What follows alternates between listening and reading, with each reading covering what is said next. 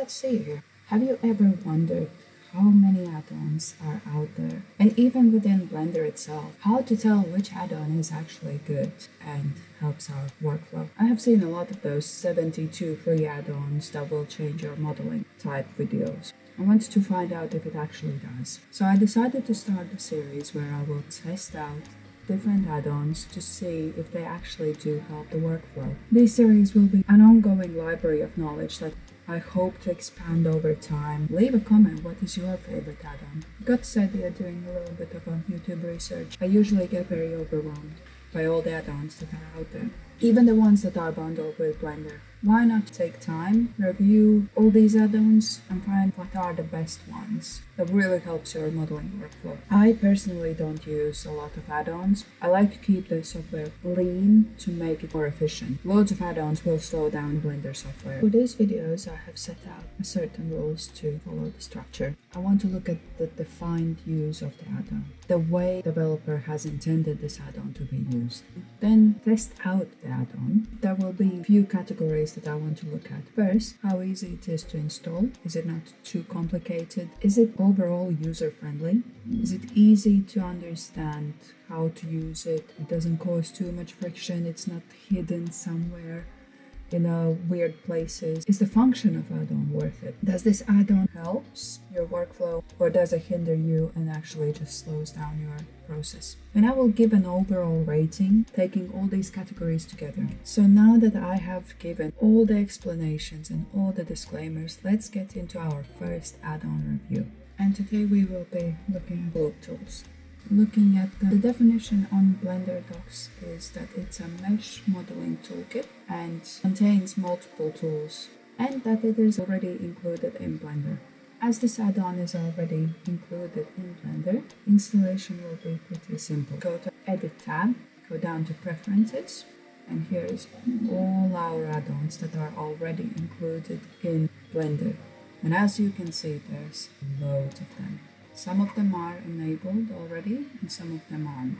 To find Loop Tools, go to Search.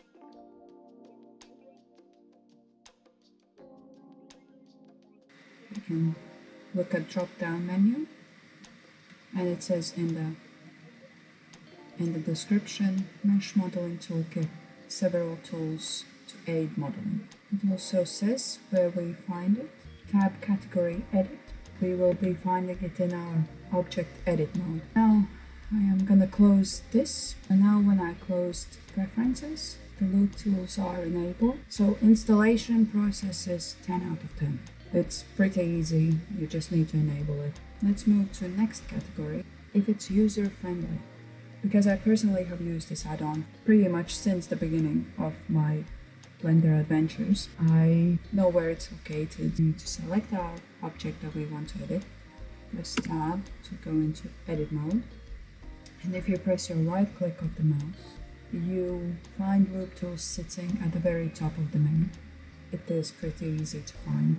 The other place where you can find it is if you press N, it opens this sidebar. If you press on this edit, what it said in the preferences, you find loop tools also here. So drop down menu and here are all our functions that this add-on does. Let's start by testing out all the functions. One of the things that is pretty indicative to the name, it is used mainly on loops. What are the loops?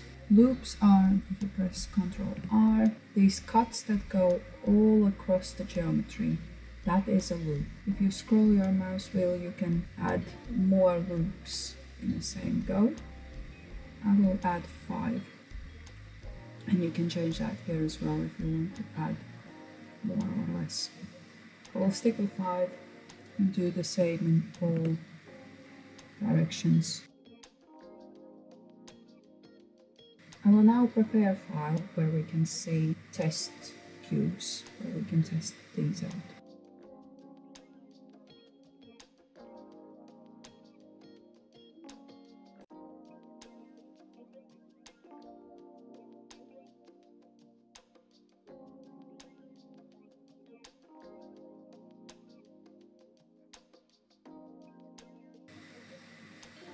We have a test samples. So let's start with the first one. It's called Bridge. So what this add-on does is essentially bridge the geometry between two loops. So if we delete these faces and we take this top part, bring for instance up and rotate a little bit. So we have a hole between these two loops. So if I now go right click, go to loop tools and go to bridge, what it does, it bridges them, creates a geometry in between them. I can add multiple segments to make sure its flow is better. I tend to leave that the geometry is somewhat squares rather than stretched out. This is one way to use it. The other thing that we can do is switch to face selection mode. We take out these faces at the top and we'll take these central faces out at the bottom as well. I am selecting again that loop here and a loop on the top. I go to right click, loop tools and bridge. It's miss, missing that.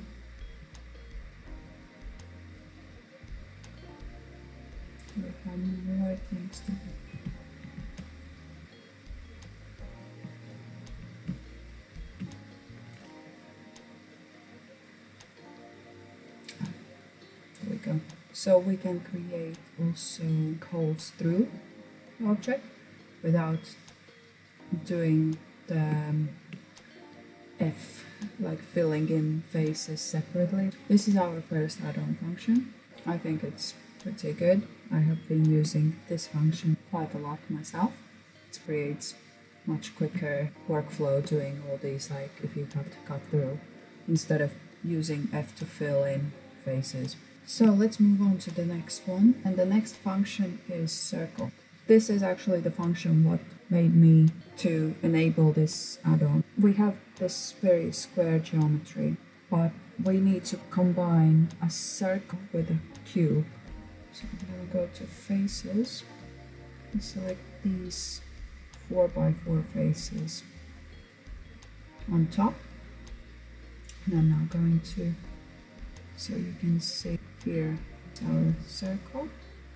If I click on it or do right click circle, it's gonna do the function. So as you can see, it takes those square faces and distribute them into a circle, like the faces that we have now distributed in a circle shape. So if we extrude it, we have those two shapes combined in the same wire mesh.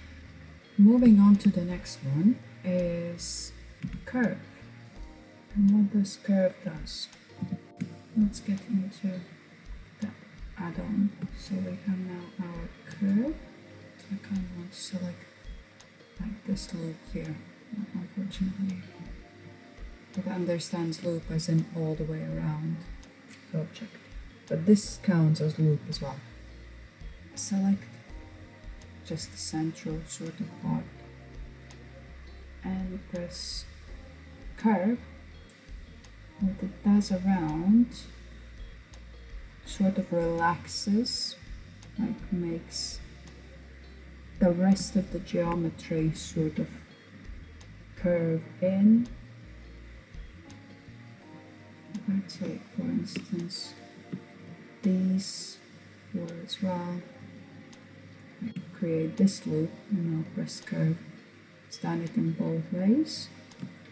It rounds out geometry, like cubic that does it like more shaped, and linear, linear is the one that does it in a straight section. So this is the curve modifier. So the next option we have is flatten. This one is quite interesting. I tried this out the other day. So we have our cube. For instance, I want to almost make like a corner that is like pressed, pressed like straight, sort of like a middle middle calculation between all three orientations. So now I'm gonna go to faces, select these, let's go to flatten, if I press flatten, doesn't look like it did, like it did much, but what it did actually just flattened all these shapes that were in three different orientations. If we go to view and now flatten, it corresponds to your viewport. It like really distorts it. I find normal is like probably the best use for this stuff.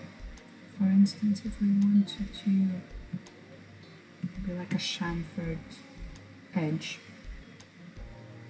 you can do that. It does distort it a little bit up. But leave a comment if you know where this function could be used. Next function of the add-on is G-stretch and this one is I find quite tricky for the user. So G-stretch. This one took me a little bit of time to figure out. It's not as intuitive as some of them. Let's take this loop. I'm gonna go to use guides and enable annotation as my use guide. So I'm taking annotate pencil now, draw like a stroke. Now if I press G stretch, it sort of follows that line that I have drawn. Let me select this line because I took like a loop that is circular, like try to stretch to the points on the annotation line. So if I take just a line in the middle and press G stretch, what it does, it sort of stretch those selected points to the annotation line. It probably could be really good for like following a reference image and drawing a, like a profile of a thing. Then the next function that we have is Loft. Loft is pretty easy to use. It's very similar to Bridge. I would say pretty much the same function. I guess Bridge is more used to create like holes inside. Again, let's delete the faces. Let's go up.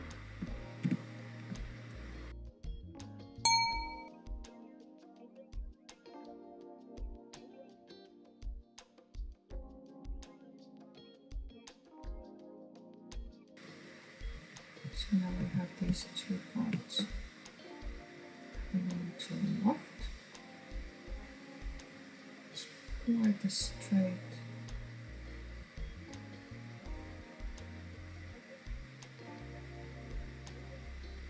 Straight part. So if I increase the strength, what it does, it sort of creates more fluid shape. So I think that's that's pretty good. So it's like almost like what we did with the bridge. Pretty much the same function, I would say. The next one is relax. Let's see. It's like like a loop around the cube. I press relax, it basically takes the, the very sharp corners and just sort of smooth them out. Oh, and we have also iterations. If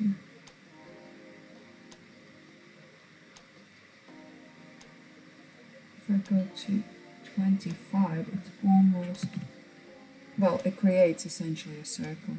Relax sort of is, yeah, like a smoothing out all the sharp edges. Yeah, that's our hmm, relax shape. And the last one, we have space. So what it essentially does, it's it spreads vertices evenly, like an even distance between.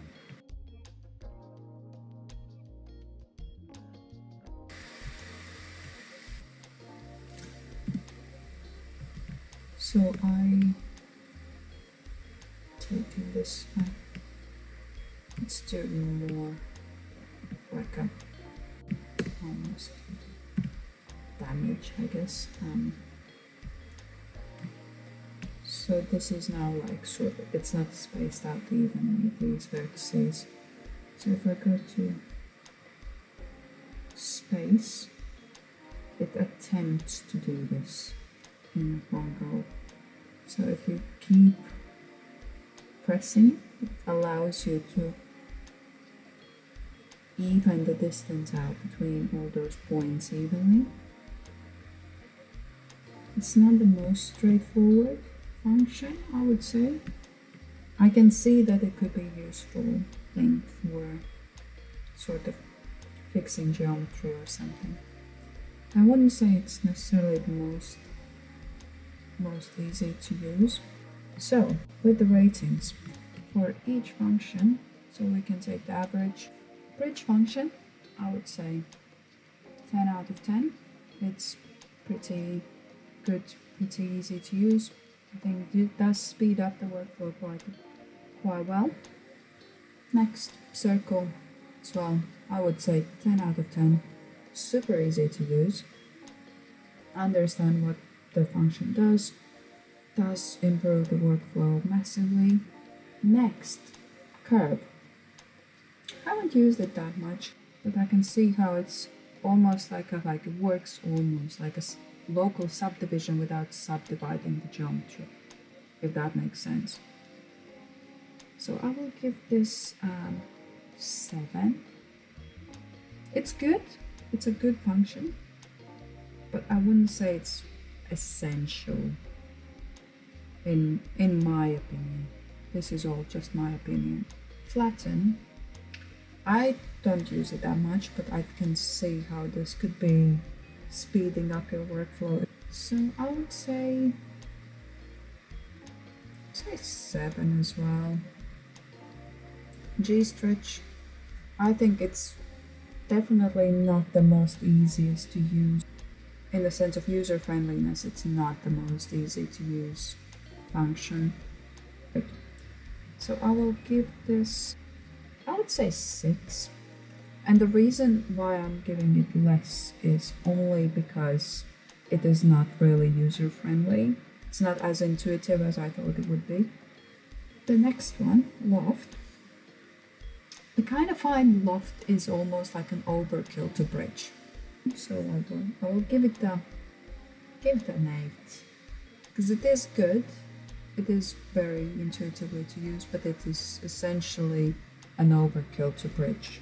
Relax function, I think, is quite good. Like, what comes to my mind is to use it as a situations where you want to cinch a geometry in and I think the idea of iterations, like how much cinched, like relaxed geometry you want.